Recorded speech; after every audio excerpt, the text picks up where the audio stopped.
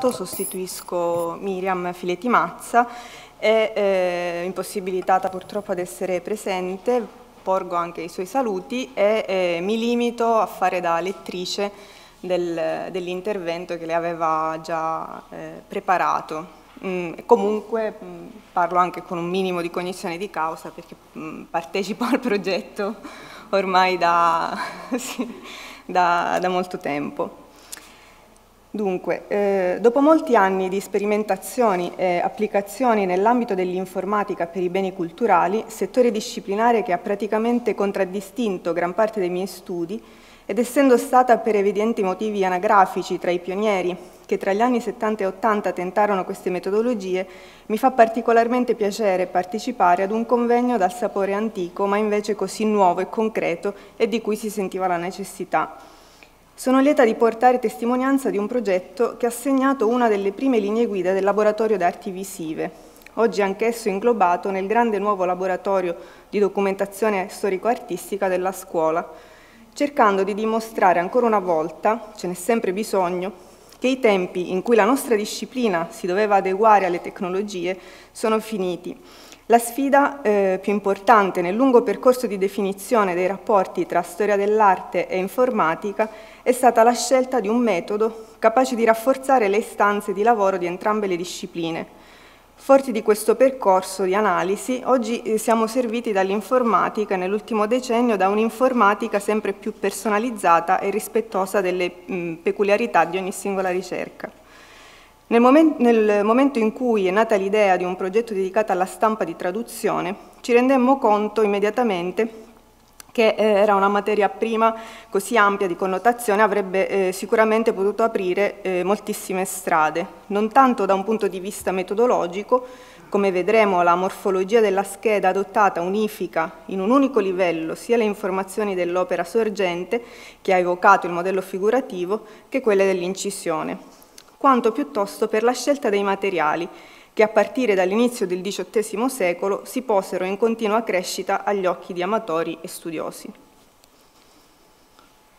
Per la realizzazione del nostro archivio digitale sono state scelte le stampe in volume, storica etichetta che fin dal Seicento contraddistinse i materiali organizzati in album e repertori, spesso arricchiti anche da testi di accompagnamento e che insieme ai fogli sciolti affollavano le collezioni, come quella nascente del cardinale Leopoldo de' Medici e del geniale ordinatore Baldinucci, tanto per rimanere in ambito fiorentino. Abbiamo individuato alcune tra le raccolte di stampe di traduzione più significative, preferendo prodotti legati sia per la cifra editoriali che per i contenuti alla realtà collezionistica e museografica della Galleria degli Uffizi della collezione palatina, per soddisfare un'indagine sulla fortuna visiva delle opere del patrimonio artistico medicio-lorenese, integrati, come vedremo, da altre tipologie di repertori che ad oggi, su una piattaforma di circa 5.000 schede, garantiscono una base significativa dalla quale continuare con precisi approfondimenti.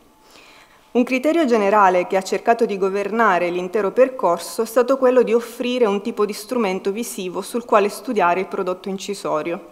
Quindi una buona definizione delle immagini con la possibilità di ingrandimenti in grado di visualizzare segni, morsure, ripensamenti, tecniche, marche, soprattutto didascalie,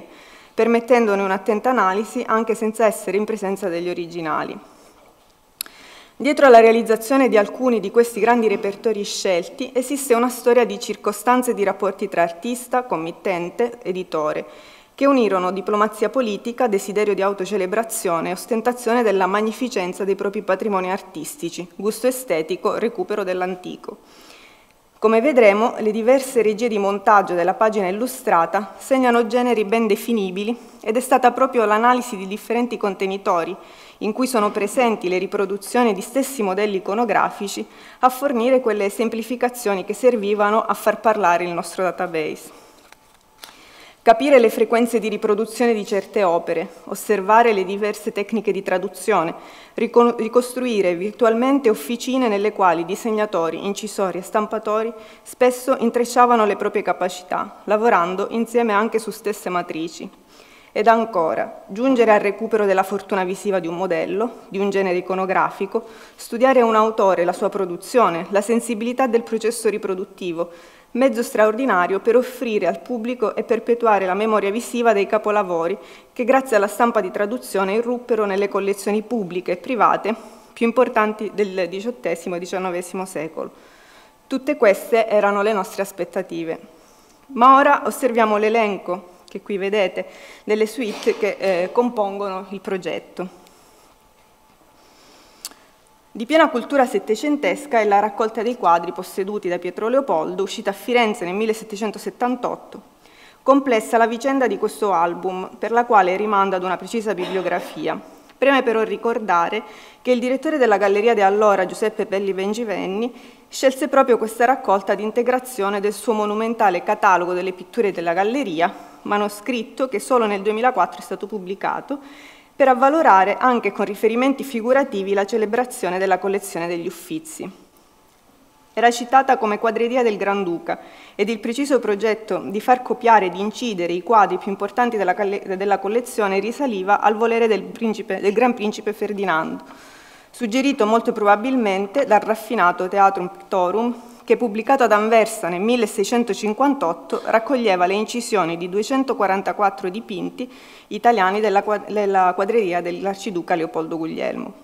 L'officina per la raccolta fu dunque lunga e l'interesse di Pietro Leopoldo alla sua pubblicazione dava chiara conferma di come il desiderio di celebrare il patrimonio artistico coincidesse con il, il rilancio della stessa politica culturale del Granducato, che nella diffusione e circolarità delle immagini dei propri tesori ne sanciva autorevolezza e fama presso le altre corti europee o negli ambienti accademici e dell'erudizione, e dove comunque, nel superamento di una regale stanzialità dei capolavori originali, ammirarne la, fedevole, la fedele riproduzione veniva a creare un'apertura virtuale del Museo dello, di Stato. Nella complessa vicenda che dall'ultimo ventennio del Seicento condusse quindi il repertorio fino al 1778 è possibile evidenziare il gruppo che maggiormente ne caratterizzò lo stile. Era composto da Lorenzini, Petrucci, Mogalli, Vercruis e più tardi da Giovanni Domenico Picchianti, ai quali si aggiunse, per la cura dei disegni preparatori alla revisione delle matrici, anche il Gabbiani. Questi artisti, soprattutto in Toscana, segnarono un modello, una scuola dell'incisione per la traduzione in pittura. Utilizzerò questa raccolta, che rappresenta uno eh, dei prototipi più diffusi di suite settecentesca, per illustrare brevemente la struttura del, del nostro archivio digitale che accoglie eh, tutti i materiali. Intanto eh, una prima annotazione che governa l'intera navigazione. Sulla parte eh, sinistra eh, si trovano i motori di ricerca, cioè la sezione di ricerca che accede ad una maschera che dopo vedremo e eh, gli indici che consentono invece di approdare a informazioni già eh, organizzate. L'elenco delle raccolte da cui parte la mia dimostrazione, che è quello visualizzato, utilizza la sezione dei menu eh, degli indici raccolta. E, ehm, la restituzione dei risultati sarà sempre ordinabile link, eh, cliccando nella parte in alto a destra, eh, sarà sempre ordinabile sia per autore che per soggetto in base alle esigenze di chi eh, fa, la, fa la, la, ricerca. Tornando dunque al nostro caso, eh, si ha una prima eh, restituzione sintetica che propone la visualizzazione del titolo, la tipologia dell'opera riprodotta, quindi se si tratta di una pittura, di una scultura o quant'altro, l'autore dell'originale è un richiamo alla raccolta, ehm, il richiamo alla raccolta e il tipo di incisione eh, che abbiamo davanti. Il successivo passaggio si entra nella scheda desiderata cliccando sul, sull'immagine e eh, scelgo come esempio una delle preziosità di questo volume, le incisioni che hanno utilizzato più lastre raggiungendo un'elaborazione calcografica di grande qualità. Le stampe doppie o triple, incise dai ricordati Lorenzini, Mogalli, Vercruis su disegni di Petrucci. Queste ad esempio sono le tre, tre lastre eh, che eh, illustrano, riproducono l'opera del Veronese eh, con l'accoppiata Lorenzini-Petrucci. Eh, sono gli unici casi in tutto il database, come vedremo, in cui compaiono due immagini, eh, perché, eh, considerata la particolarità di, del, del, prodotto, abbiamo deciso di eh, visualizzare l'immagine così come si trova nella raccolta, quindi con le, le tre matrici divise, e poi provato abbiamo provato a fare una ricostruzione ehm, ricomponendo l'immagine eh, intera.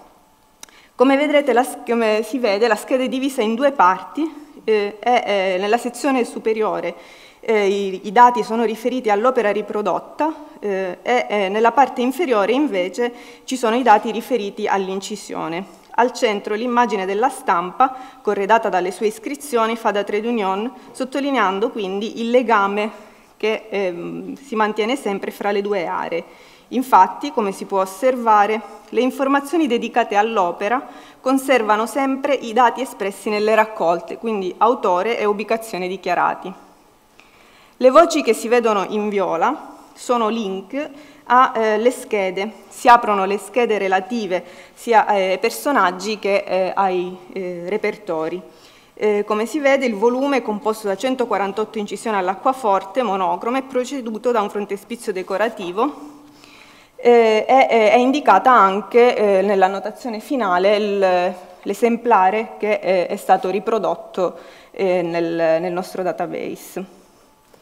Aprendo invece le icone al centro dove sono le immagini è possibile visualizzare la stampa e gestirla a seconda dell'utilità. L'alta risoluzione, come si è detto, permette di recuperare i dati analizzando i dettagli grafici e tecnici recuperando le iscrizioni.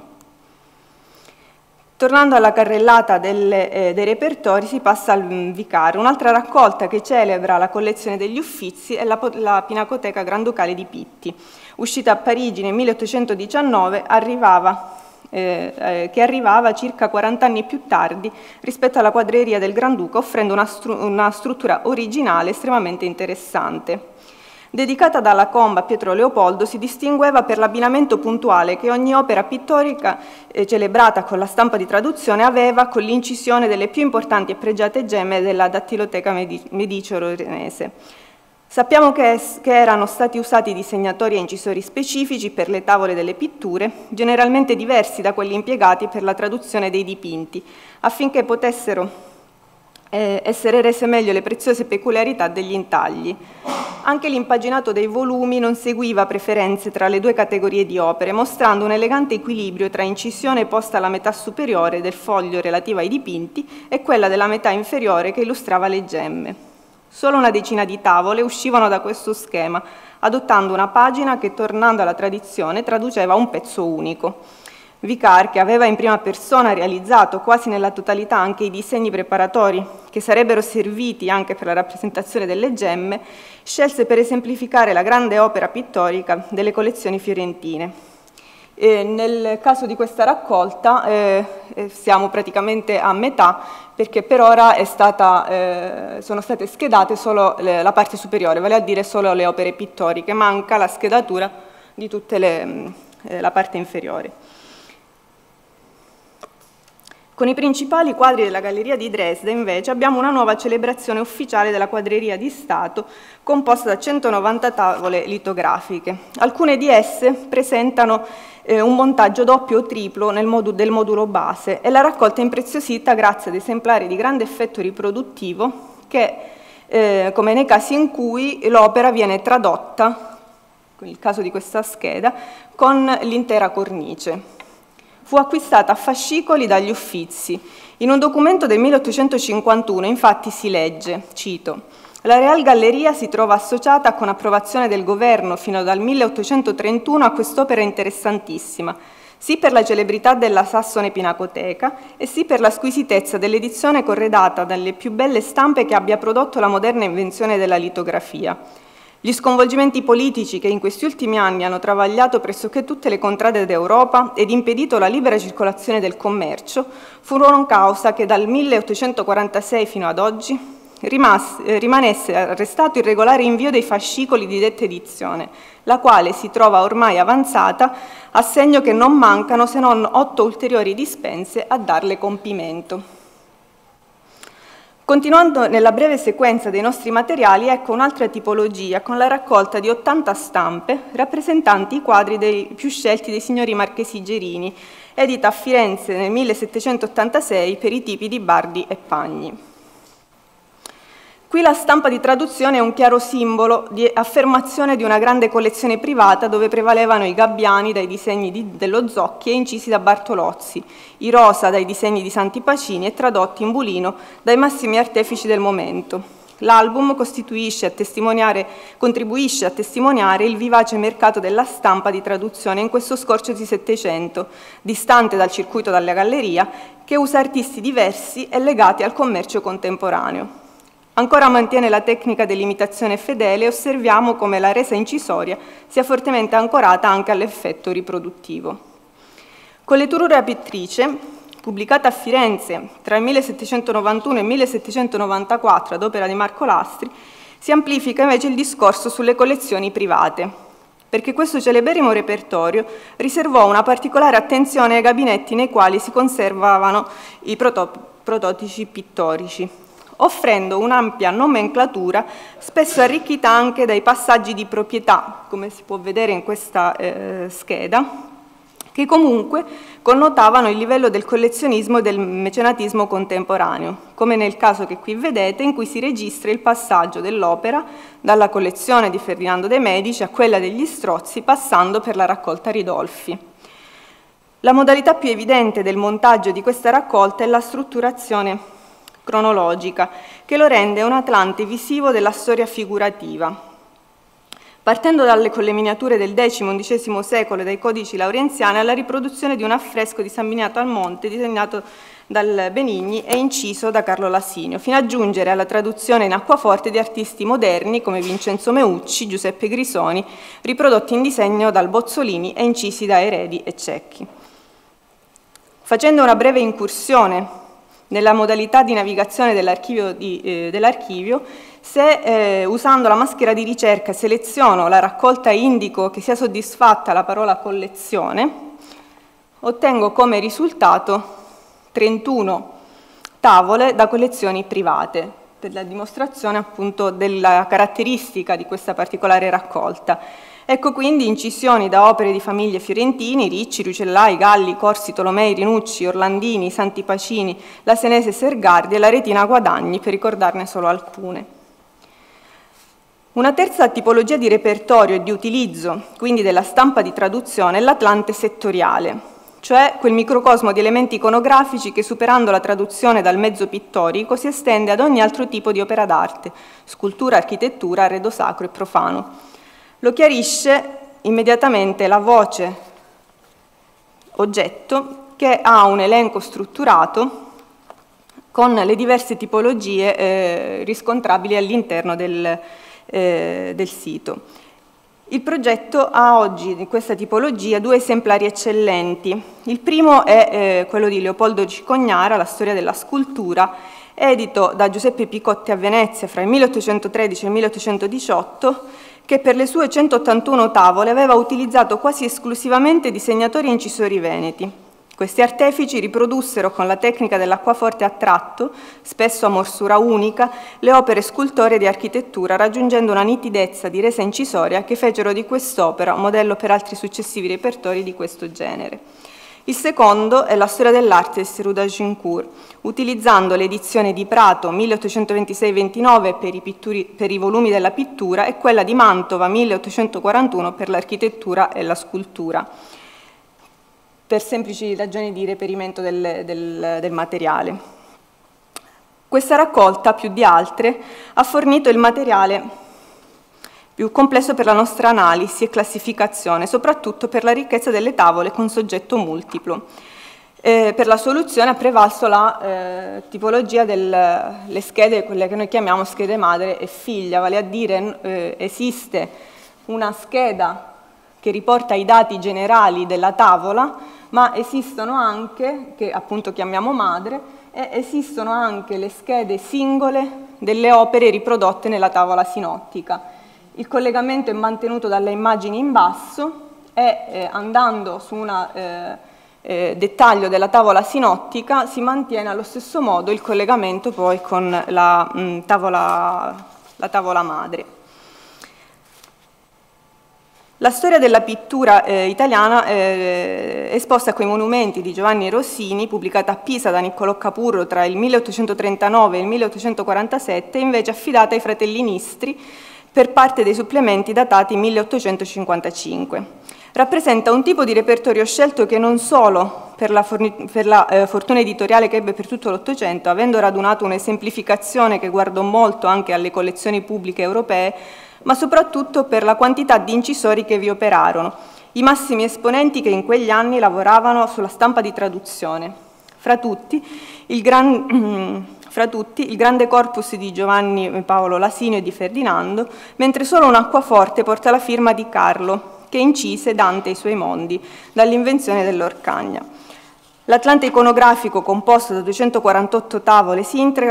volumi, con otto volumi di testo distinti in quattro epoche. L'esemplare fotografato per il progetto è quello conservato presso la Biblioteca Universitaria di Pisa. Testimonia eh, testimonianza dell'officina che si era venuta a creare intorno al repertorio di Rosini l'abbiamo a pochi anni di distanza dalla sua prima edizione, nel 1851, quando entravano nella collezione degli Uffizi i disegni preparatori dell'opera. Sono tre volumi, 180 fogli di grandi dimensioni, 200 più piccoli. Rosini prese tempo prima di inviarli a Firenze perché, come scrisse al direttore della galleria Bourbon dal Monte, essendo stati in mano degli incisori che sempre li strapazzano, hanno bisogno di essere riguardati e disposti. Grazie a questa opportunità la collezione fiorentina si, si arricchì di eh, una buona rosa di nomi, di artisti che altrimenti non sarebbero, non sarebbero, molto probabilmente entrati a far parte di quel circuito che legava il mercato della politica delle acquisizioni, come ad esempio i disegni dei calcografi Filippo e Giuseppe Calendi o i fogli preparatori di Giuseppe Romolo Camera, Cesare Ferreri, Luigi Belletti, Tommaso Minardi, Bartolomeo Bartoccini, ed eccezionalmente per la nostra cronaca anche del conservatore del Gabinetto di Segni e Stampe degli Uffizi, Carlo Pini. L'ultima raccolta eh, proposta è quella di Pompeo Litta sulle famiglie celebri, pubblicata a Milano dall'editore Giusti tra il 1819 e il 1883. È un caso tutto a sé, vi si riassumono varie tipologie di modelli iconografici, da originali sia pittorici che scultorei, ma soprattutto ritorna anche l'elemento monumentale, architettonico o decorativo, la medaglia, l'emblema, l'araldica, tutto, il tutto con una comune funzione, quella celebrativa.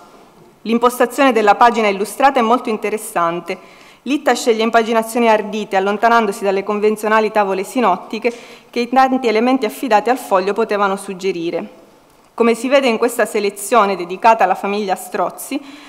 prevale la ritrattistica, il monumento funebre, l'effigie sulla medaglia, ma anche eventi della biografia del personaggio e della casata che inquadrano e storicizzano la stampa. La qualità delle incisioni è elevata, spesso una stessa tavola è frutto di più morsure e metodi grafici, acquaforte bulino, acquaforte acquatinta, ma anche vernice molle, complessità e specificità che comportava l'abbinamento anche di due incisori, Francesco Citterio e Giuseppe Romolo Camera, il Camera con Ferdinando Cassina, o Bramati o il bassanese Gaetano Bonati, sui disegni preparatori di Alessandro Chiari, anch'esso esperto incisore per la tecnica del puro contorno. Di sapore scenografico queste mm, pagine, come quella eh, che vedete, ehm, accompagnano l'osservatore dentro l'immagine, facendo cogliere l'importanza di ogni dettaglio, di ogni particolare, l'unione di segno e colore, una soluzione che, di, di, traduzione efficace molto diversa dal, dal processo evocativo rispetto agli altri casi esaminati, ma proprio per questo utile a integrare una banca dati che fosse in grado di esemplificare l'oggetto della nostra ricerca testimoniando le varie, le varie modalità. Al di là dell'indagine svolta seguendo il filo delle singole raccolte che per molti versi rispecchia lo scorrere delle versioni originali dei nostri repertori, le potenzialità più interessanti del database sono date dalla possibilità eh, da, di, de, da, una parte di intrecciare i filtri della maschera di ricerca e dall'altra invece di avvalersi di indici che in qualche modo svolgono una primaria funzione di selezione trasversale per autori, soggetti e luoghi. È così possibile verificare immediatamente, usando gli indici, le presenze di opere e artisti nei diversi repertori, come ad esempio di Andrea del Sarto, la cui Pietà di Luco è riprodotta in tre raccolte differenti con resa e impaginazione diverse. In alcuni casi, confrontare le soluzioni incisorie per la traduzione di una stessa opera, come nel caso della Notte di Correggio, evidenzia il netto passaggio dalla riproduzione dell'effetto pittorico all'esasperata sintesi del linearismo.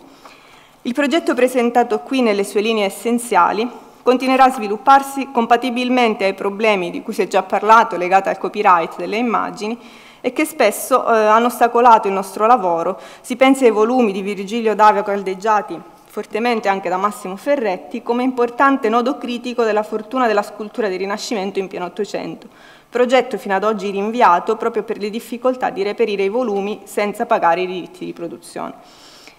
Comunque è calendario, eh, in calendario l'analisi di almeno un repertorio del collezionismo sabaudo, non trascurando semplificazioni romane che portano al Museo Capitolino, alle logge vaticane, nelle diverse redazioni che possono spiegare anche didatticamente la fortuna delle molte imprese editoriali. Anche volendo rimanere ancora in campo toscano, molte cose sarebbero ancora da affrontarsi, dalla serie dei ritratti degli eccellenti pittori dipinti di propria mano di Francesco Mocche alle tavole di Lasinio per il Camposanto di Pisa. Allora abbiamo,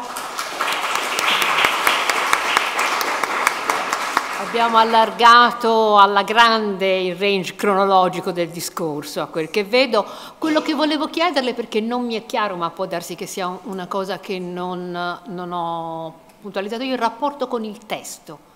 perché eh, non, tutti, cioè, non, sono solo tutti atlanti di immagini, no. ma anche il testo di Cicognara è importante e non ho capito, ecco, non capisco, non ho capito come collegate il testo alle immagini. Allora, la mh, mm, centralità del progetto eh, sono, eh, diciamo, raccolte sono entrate in una seconda fase. Quindi per il momento è rimasta eh, legata come centralità all'immagine, alla stampa di traduzione. Quello che abbiamo cercato di fare eh, sia per il Rosini che per il Seruda Gincourt che avevano appunto eh, l'importanza di un grosso testo alla base è, è, stata di riportare non solo nelle voci ehm, appunto ubicazione dichiarata perché so, sono tutte informazioni che sono state prese dal testo eh. e dalle didascalie eh, ma anche eh, riportare nel campo annotazione che in molte delle schede appunto quasi esclusivamente di Seru eh, e del Rossini compaiono tutte le informazioni utili eh, riguardanti eh, l'opera, soprattutto informazioni bibliografiche, collezionistiche eh, di, di diverso genere. Per ora il rapporto con il testo si è fermato no, a, questo, questa, a, questa, fase. A questa Bene, fase. speriamo che possa proseguire allora. E questo è chiaramente l'esito di un percorso che rifaremo oggi pomeriggio all'indietro perché con Monumenta Rariora partiamo dagli album eh, del Seicenteschi che mostrano appunto l'origine di questo tipo di testi. A questo punto vorrei sapere se ci sono domande dal pubblico, anzi mi dispiace prima di non avere eh, rivolto questa domanda domanda agli ascoltatori della relazione di Nesserrat e ovviamente siamo in tempo a se il professor Nesserrat è d'accordo a, chiedere, a, a fare domande e a chiedere chiarimenti anche adesso. Posso? Prego. È interessante, cerco di, di ricollegarmi a quello che è stato detto sulle frequenze di riproduzione, le botteghe e il processo riproduttivo. E, e, e, mi chiedo se è previsto uh, un censimento della geografia della storia dell'incisione perché ad esempio eh, c'è il caso de, dell'incisione nel Cinquecento nel contesto senese eh, che è un caso molto sfortunato per gli studi o almeno è, è, è questa l'impressione. E ecco, ecco, vorrei chiedere se eh, a, a, fronte mi sembra che lo, lo spirito dell'archivio digitale presentato sia proprio una grande aderenza alla realtà e, e, e, e all'opera e mi chiedo ecco, se c'è l'idea di eh, eh, una visione organica e sistematica eh, della geografia dell'incisione. fare andare avanti Ovviamente. le raccolte potrebbe essere auspicabile. Per il momento bisogna limitarsi. Siamo partiti appunto, come è evidente anche dalla scelta, da un ambito toscano. Abbiamo trovato alcune linee di tangenza e si spera appunto di poter andare avanti scegliendo nuovi repertori e ampliare il, il campo. sono altre curiosità, altre domande? Prego, caro. Professor Gaspari.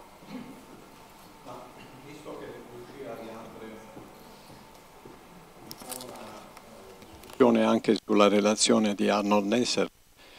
eh, approfitto per riproporre una questione di cui abbiamo già parlato tantissime volte e che eh, coinvolge anche altre banche dati, eh, quella dei colleghi francesi o quelli del eh, Monumento alla Riora che hanno come base una eh, materiale scultoreo e eh, includono una ricerca sulla vicenda di questo pezzo. Allora mi pare eh, che il, il, census, quando muoveva i suoi primi passi, anche io potrei andare all'indietro, eh,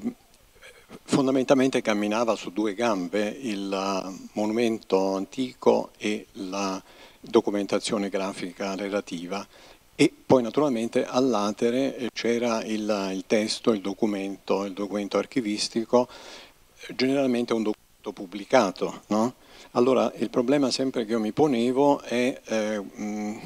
quale consistenza deve avere questa terza gamba della, del census o di un progetto di questo tipo perché eh, tutti quanti sappiamo che non ci si può fermare soltanto a quei pochi documenti che sono pubblicati da, da Fiorelli cent'anni fa o qualche cosa che viene fuori casualmente, ma basta fare una ricerca su un nucleo particolare di antichità per scoprire quale massa di cose c'è inedita. Allora naturalmente non penso che, eh, come sappiamo, ciascun, qualunque progetto avere dei limiti se è realistico e non può rispondere a tutte le domande, questo lo sappiamo molto bene, però il,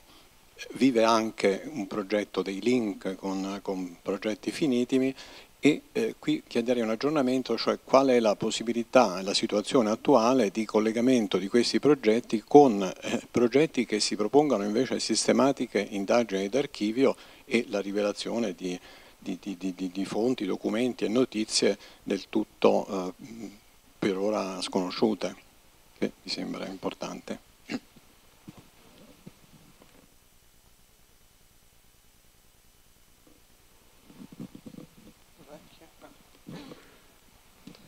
Uh, non so se ho ben capito la domanda perché i documenti archivistici de, um, sono um, equivalenti a un disegno se c'è nel census. Ecco, e non, non facciamo, um, non è una terza categoria, ma è parte della seconda categoria dei documenti anti, uh, post-antichi. Per, ma forse lei ha in mente più la, um, testi digitalizzati, eh, sfogliando anche i documenti completi, non, non, non so bene.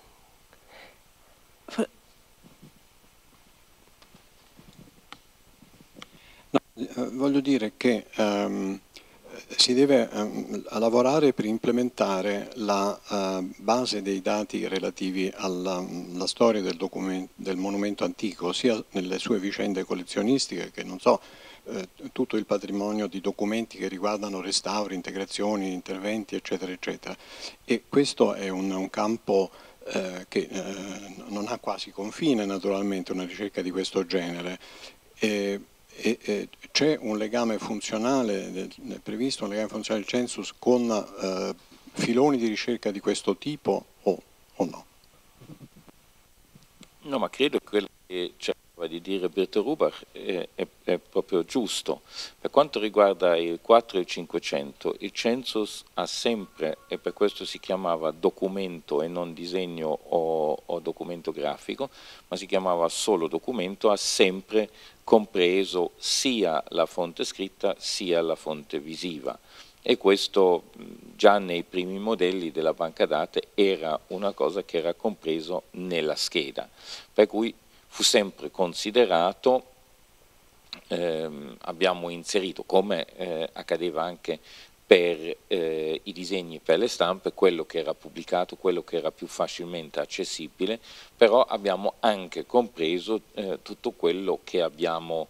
ehm, trovato, eh, ehm, quell'episodio al quale eh, si riferiva Salvatore Setti stamattina, quel, quella eh, scenata che faceva Gombrich, eh, era basato proprio su un documento inedito eh, che documentava il trasporto dell'Apollo Belvedere da Palazzo Colonna eh, al eh, Vaticano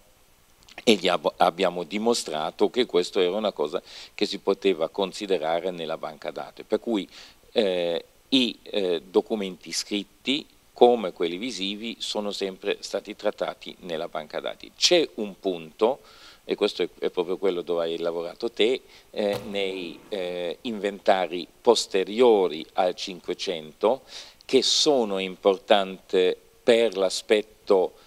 odierno, per esempio delle statue, restauri, cavaceppi e così via, eh, che non, po non, possiamo andare eh, a inserire nella nostra banca dati, eh, vengono considerati quando una eh, statua cambia, quando ha un altro restauro, l'esempio della Venere Belvedere o quello, eh, quello che sarà, eh, viene considerato, ma questo sono dei compiti che naturalmente in un momento che si allarga la banca dati, quel, il lavoro che fanno a Stendhal per Winkelmann, devono considerare loro e eh, la struttura della banca dati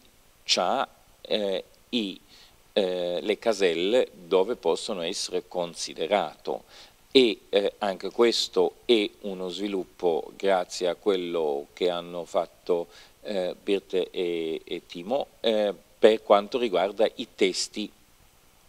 eh, ehm, ehm, completi. Anche lì, almeno con alcuni ehm, documenti, abbiamo l'esempio che anche un testo intero può essere inserito o almeno referenziato e questi sono eh, dei progetti che adesso ci sono e credo che qui anche il LIMP stamattina eh, ha dimostrato come eh, si fanno eh, i riferimenti tra le varie banche dati.